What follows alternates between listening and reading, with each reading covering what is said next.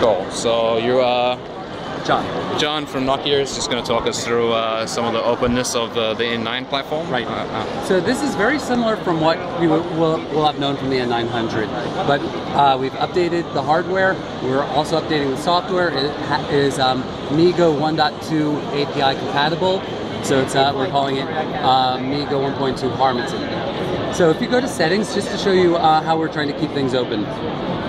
When you go to settings, you can go into um, applications and users can change the installation settings to allow installations from non-store sources. So that means you can configure any repositories so, and you, allow it. so it's just a matter at that point of, of going into the phone via a serial console emulator of some description. You, no, you just switch that open, and if, if you have a Debian package or if you have anything in an email or download, click to uh, install a repository, all that. You don't need to do anything tricky. However, we also in here under, um, sorry, go back. You go into security, developer mode. You can turn on developer mode. I don't know, and it will basically, you know, fetch a couple of Debian files, and now you have the complete root.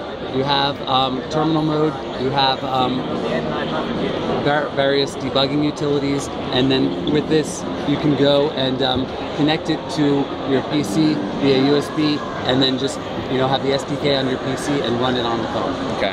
And so is uh, do you guys have like an SSH package that's installed on the phone by default, or Um, was that one of the things through that developer grabs? mode. Yeah. So, yeah. so one of the things is obviously this is still a consumer product. I'd give this to my wife. She does not want terminal mode. Uh, you know, oh, can I? What if I delete root? What happens?